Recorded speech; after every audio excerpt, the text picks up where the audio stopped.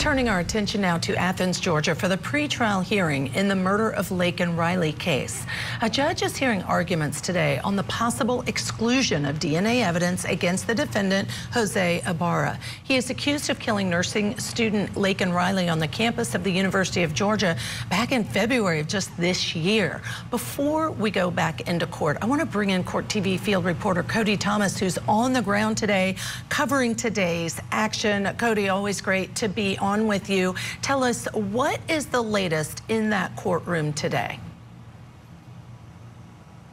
Well, good afternoon to you too, Judge Ashley. The first motion argued in court today was a motion to suppress cell phone data acquired from Jose Ibarra's two cell phones. Now, the police, once they detained Ibarra, took two cell phones from his house. The defense says that the Sorry about that. The defense says that his phones were taken by police. Um, investigators attempted to search one of the phones without having a warrant, but the prosecution says that police searched those phones after an official warrant was obtained. Take a listen to some of those arguments, testimony, and the defense's response today on the stand. With 1B7 being locked, could you have searched the phone without Cellebrite Premium? No. Why not? I couldn't get into the device without having some tool to guess the pattern lock to unlock the device. So there was no way to get into the specimen without using Cellebrite Premium. Um, there are other tools on the market, such as GrayKey, but we did not have an Android license for the GrayKey. So the only option I had was Cellebrite Premium. To this Rubin data, um, that is also could be the phone just talking to the tower, right? Yes. Okay.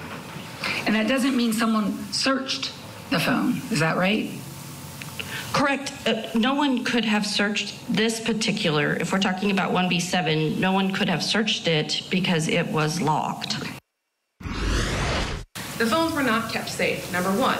They were tampered with. Number two, Agent Karate said that he tried to access the phone. He was caught in the act by the third eye intruder.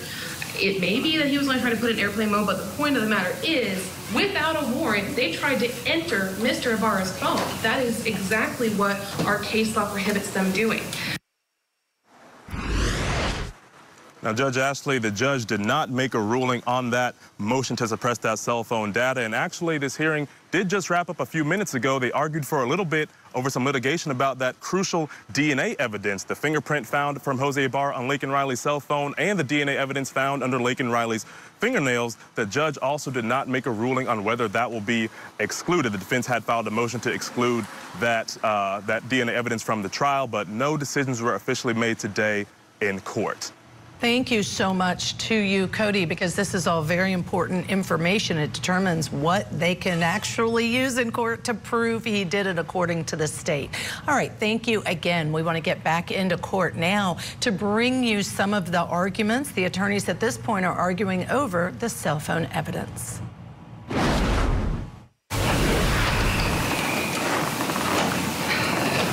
Anything else in the way of evidence? Not in the way of evidence from the state. Nothing else from the defense, Your Honor. Okay. Y'all want to do argument related to this now? Yes, please. If we can, Your Honor. Who would you like to proceed first, Your Honor? This was the state's original motion. They go, you go, Yes, they go. Well, okay, yes, sir. Um, this evidence that we presented today um, is in response to the defendant's amended motion to suppress, which was filed after our last hearing. And in that motion to suppress, the defense alleges um, that they had evidence that would contradict um, that the phone was not searched uh, or that the phone was searched prior to the warrant. So let me say that the other way around. I apologize. Uh, the state's position is, and the evidence has shown, that while 1B7 and 1B8 were seized without a warrant, which we have already covered uh, the last hearing, and I don't wish to cover unless the court wishes me to recover that. I do not. Okay, thank you. Um, that those phones were not searched until a search warrant was obtained. And in fact, there you've now heard, and you knew from last time, there were two search warrants, three total, but for each phone. Two, two warrants for the phones. Um, we are here today because the defense filed the amended motion saying that they had evidence that that's not true. And I think the evidence has been really clear in the hearing today that what happened to 1B7 is that Special Agent Karate tried to put it in airplane mode, couldn't. The phone was locked.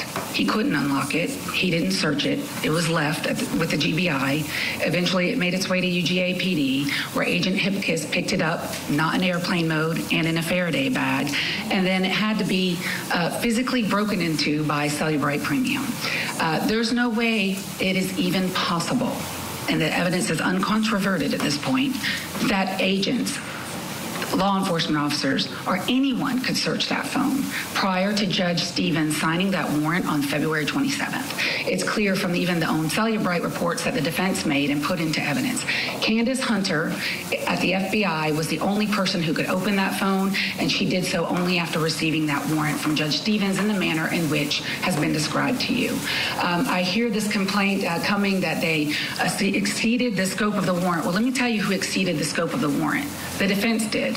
The first time Special Agent Hipkiss even saw data that predated uh, what Judge Stevens offered him, allowed him to take, is when the defense created those exhibits and gave it to him.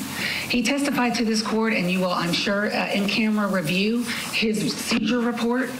And his seizure report was set at the parameters in which Judge Stevens authorized him to search. And he was permitted to look at items which had no date on it to determine whether, in fact, they fell within the scope of the warrant. And if they did not fall within the scope of the warrant, he didn't tag them. If they did fall within the scope of the warrant, he tagged them. And tagging them really is just their way of saying he seized them. And they are in those reports that have been admitted to you as States Exhibit 31. From the plain language of Judge Stevens' warrant, he allowed the FBI to download the entire phone. Not only does it make um, logical sense that that's the only way they could do it. So it would be like saying, I guess the defense is trying to tell this court, and I'd like to see some legal authority on it, that you can search the phone, but we're just not going to allow you to download it. Well, then you're back to what Special Agent Hipkiss said. Well, we're just going to have to physically go through the phone. And if you do that, then you're absolutely looking at everything in the phone. There is a tapestry of cases out there, and I'm, I'm happy to provide them to the court about this, this theory. And it's not a new theory. Um, and I would say that defense's argument is rather novel. Um, there's definitely no evidence that somebody got into that phone before it was cracked. So that's just, there's just no evidence to support that allegation. Um, but what they're trying to tell this court is that well, you, are going to have to search the phone without unlocking it. Um, there are cases out there when it comes to computer searches. And in Riley v. California, when we first started this cell phone journey a long time ago with the United States Supreme Court, um, they likened, and Judge Roberts likened cell phones to microcomputers. And with searching computers, and I think all the case law associated with the search of computers is very helpful here.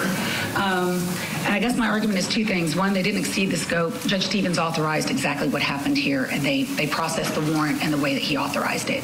Um, and number two, if, if they think that the scope succeeded, we're not using anything that's not in Special Agent Hipkiss's reports, so it's moot, and there's no harm. And Three, and finally, they're asking you to, to establish some kind of procedure where you're allowed to search a file cabinet for the tax returns from 2020 but you can't look at all of the other items in the file to see if they are in fact the tax return from 2020. I mean, if you want to just relate it to other objects or relate it to computers. And so for um, computers, and I have a few cases to cite for the court, and I can provide them um, in writing as well if the court wants a brief on it. But quite frankly, uh, United States versus Khanani, K H A N A N I, at 502 Fed Third.